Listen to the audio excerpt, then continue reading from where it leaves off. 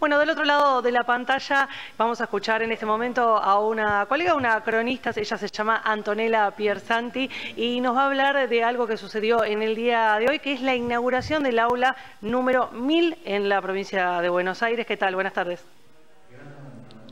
Hola, ¿qué tal? Así como lo contás, exactamente. En la zona norte de la provincia de Buenos Aires, en el partido de lo que es los polvorines y en Malvinas Argentinas. Estamos acá, en el aula de esta escuela media, es decir, de esta escuela secundaria, que continúa en un legado, en una saga de un montón de obras públicas, exactamente en la educación bonaerense. Esta es el aula número 1000 que está perfectamente equipada con, por supuesto, la climatización que corresponde y que forma parte, como bien digo, de toda una secuencia que se viene trabajando por parte de la provincia y de una obra en invertir para la educación que ya alcanzó los 15 mil millones de pesos.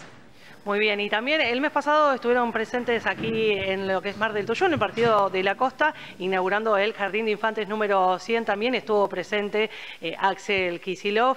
Muy bien, como nos contabas, eh, está bueno eh, contarnos que está todo preparado y a término, a punto, para que puedan comenzar ¿no? las clases, que no falte nada, ¿no?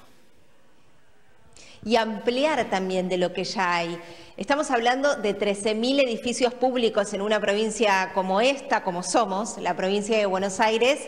Repasemos, 18 millones de habitantes, de los cuales más de 5 millones son estudiantes. Entonces, de, la siguiente manera y reconociendo también todo el trabajo que hay por delante, se concreta lo que se empezó y lo que se continúa. Porque voy a destacarte también las palabras de Axel Kisilov, que estuvo en el acto inaugural, y también el director general de Cultura y Educación, Alberto Silioni, que él destacaba, ¿no? Buenos Aires eligió más presencia del Estado y ellos, por supuesto que trabajan, se identifican con ese pedido de la sociedad y esto es parte de lo que se viene haciendo, no sin reconocer, por eso cito las propias palabras de los funcionarios, todo lo que hay por delante y teniendo en cuenta que la provincia de Buenos Aires es la más grande de todo el país. Sí, tema que se viene discutiendo justamente últimamente, bueno, el presupuesto para lo que es la educación. Bueno, aquí se está viendo también que está todo preparado y con esto también son 2.300 las aulas que se incorporaron al sistema educativo, que eso es muy importante, como estábamos hablando también, la ampliación eh, para que haya más cupos, ¿no?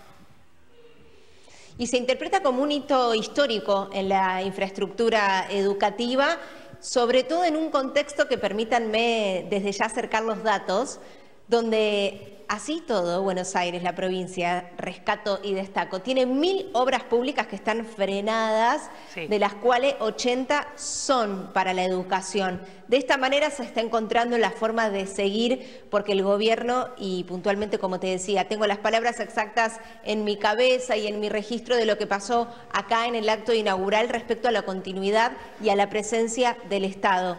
Y como han dicho, ¿no? El Estado para ayudar hacer puente a quienes más lo necesitan, los sueños de los jóvenes, de las jóvenes.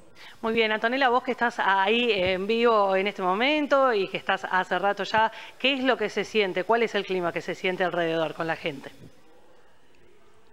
Se siente algo que por supuesto tiene un poco de interpretación personal esto, ¿no? Se realizó el acto, continuó la actividad escolar, hay un clima de educación, de festejo, fue muy bien recibida esta obra que ya está terminada y un número muy significativo como es el número 1000 que acompañó el acto en gigante en una dimensión que parece un dato, pero que es muy difícil de alcanzar, como te decía, en esta realidad y en esta situación en cuanto a la pausa que hay para las obras públicas en toda la Argentina. Buenos Aires no está exento, pero también señalan que quizás por cuestiones partidarias pueden tener un poco más de señalamiento. Acá en la escuela número 12, desde Malvinas Argentinas, desde los polvorines, mucha alegría y bueno, mucha expectativa para que esto siga pasando también.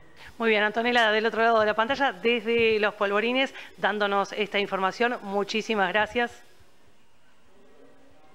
Gracias a vos y saludos a toda la ciudad. Muy bien, igualmente para allá y con toda esta información nos vamos a ir a una pequeña tanda publicitaria. Ya volvemos.